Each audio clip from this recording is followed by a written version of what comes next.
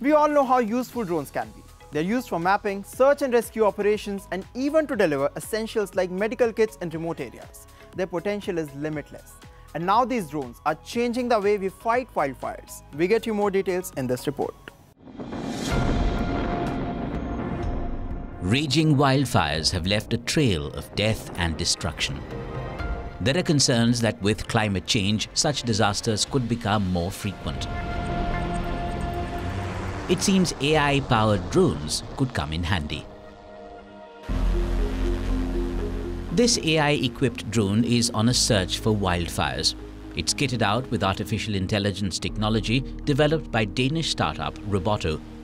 The drone has been designed to track and monitor wildfires in real time. Typically when firefighters come out to a wildfire, they rely on 12 old uh, fire maps or even in worst cases 24 hour old fire maps. Uh, and that means that whenever they come out to an operation, they need to get an overview of the situation, which is then putting behind the actual combating of the fire.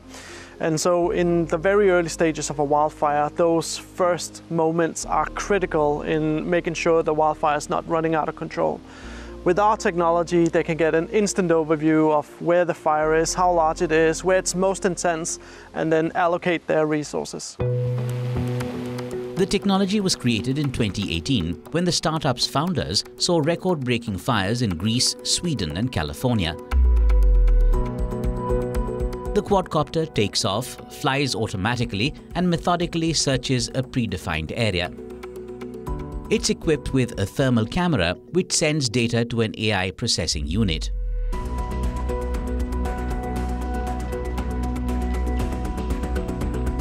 We trained our model to identify smoke or flame, uh, but we are also looking for heat signatures. Uh, so by combining them, we can be certain that it's actually a fire. To demonstrate the technology, Robotto took one of their drones out to a small wooded area on the outskirts of the Danish city Aalborg in northern Jutland. Within minutes, the drone's AI identified a small fire started at a camping spot. So once we started the mission, we quickly found the wildfire. It's a small campfire and it's extremely small. The current size of a hotspot is 0.2 square meters.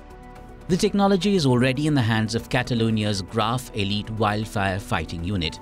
It's believed that such firefighting drones can help contain wildfires faster and safer.